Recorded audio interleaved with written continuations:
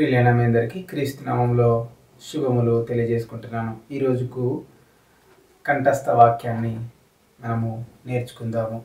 దేవుని యొక్క వాక్యమును ఎంతగా నేర్చుకుంటే అంత గొప్పగా ఆత్మీయతలో మనము అభివృద్ధి చెందుతాము.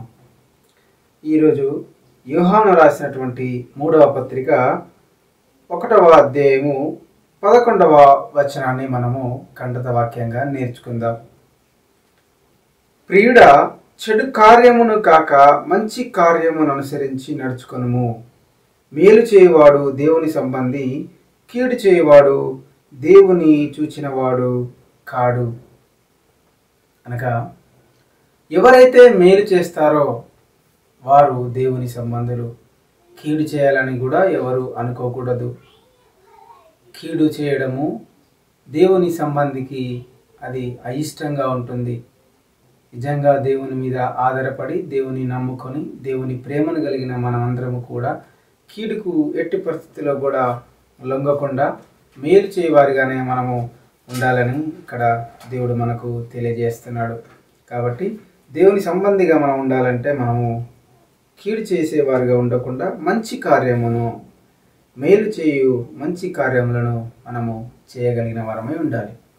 Now let see English um, verse, the third letter of John, chapter 1, verses 11.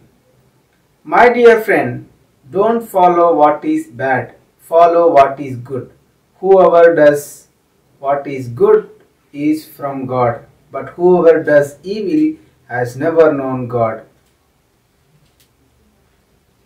As children of God, we are always should try to do only good things.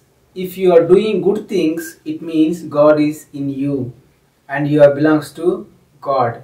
And if you do not follow, then you are belongs to someone who doesn't know God and you are no more knowing the God.